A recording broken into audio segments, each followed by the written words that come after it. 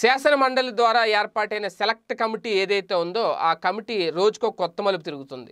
వాస్తవానికి కమిటీ ఏర్పాటైందని అనకూడదేమో. ఎందుకంటే పూర్తి స్థాయిలో ఇంకా అభ్యర్థుల నుంచి ప్రతిపాదనలు రాలేదు కాబట్టి అధికార పార్టీ నుంచి సెలెక్ట్ కమిటీ ఒక రకంగా ఏర్పాటు అవ్వలేదనే చెప్పుకోవాలి. పద్నాలుగు రోజుల్లో సెలెక్ట్ కమిటీ ఏర్పాటు కాలేదు కాబట్టి ఆటోమేటిక్గా బిల్లులు ఆమోదం పొందేసినట్టే అనేది అధికార పార్టీ వాదన కూడా ఉంది కాబట్టి ఇలాంటి నేపథ్యంలో ఇప్పుడు ఒక కొత్త ట్విస్ట్ తెర మీదకు వచ్చింది. శాసన మండలికి సంబంధించిన సెలెక్ట్ కమిటీకి సంబంధించి అనేది చాలా క్లియర్గా అర్థమవుతుంది. ఏంటి అంటే మూడు రాజధానుల ఏర్పాటు అంశం మీద ప్రవేశపెట్టిన బిల్లులు ఏవైతే ఉన్నాయో సెలెక్ట్ కమిటీకి పంపించాలని చెప్పి మండల చైర్మన్ షరీఫ్ గారు ఆదేశించినా సరే నిబంధనలు పాటించలేదు అనే ఒకే ఒక్క కారణంతో మండల కార్యదర్శి పట్టించుకోలేదు వాటిల్ని అనేది ఇప్పుడు ప్రధానంగా ఆ ఫైల్ని తిప్పి పంపించారనేది ప్రధానంగా అర్థమవుతుంది. అయితే ఈ రెండు బిల్లులు శాసన మండలిలో ఆమోదం పొందినట్టే అనేది వైసీపీ వాదన ఒక పక్కన. ఎందుకంటే పద్నాలుగు రోజులు అవ్వలేదు కాబట్టి. అయితే దీని మీద తాజాగా మండలి చైర్మన్ కొన్ని కీలక వ్యాఖ్యలు చేశారు.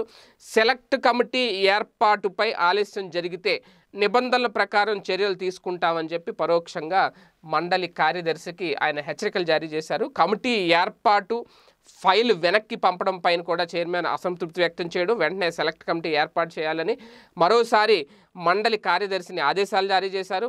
మండలి కార్యదర్శికి ఆదేశించారు చైర్మన్ గారు. ఇదే టైంలో శాసన మండలి రద్దు తీర్మానంపై కూడా ఢిల్లీ వెళ్ళాలని చెప్పి టీడీపీ ఎమ్మెల్యేలు భావిస్తున్నారట. మూడు రాజధానుల బిల్లును అడ్డుకునేందుకు మండలి రద్దు చేయాలని చూస్తున్నారని ఎప్పుడైతే మేము మూడు రాజధానుల బిల్లు అడ్డుకున్నామో అందుకే మండలిని రద్దు చేయాలని చెప్పి వైసీపీ చూస్తుంది. అని చెప్పి వాళ్ళందరూ ఢిల్లీ పెద్దలకి ఫిర్యాదు చేయబోతున్నారు. కేంద్ర న్యాయశాఖ మంత్రితో కూడా పాటు న్యాయ న్యాయశాఖ మంత్రిని కలిసి చెప్పడం అలాగే రాష్ట్రపతిని కూడా కలవాలని చెప్పి ఆలోచిస్తున్నారంట. మరి ఇది ఎంతవరకు వర్కౌట్ అవుతుంది? ఒక పక్క మండలి రద్దుకు సంబంధించి పార్లమెంటు కనుక ఇప్పుడు ఓకే చేసేస్తే తీర్మానం వచ్చేస్తే ఆటోమేటిక్గా మండలి రద్దయిపోతుంది.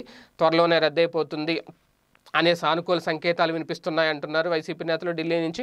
ఇదే టైంలో వీళ్ళందరూ తెలుగుదేశం ఎమ్మెల్సీలు అందరూ ఢిల్లీ వెళ్దాం అనుకుంటున్నారు.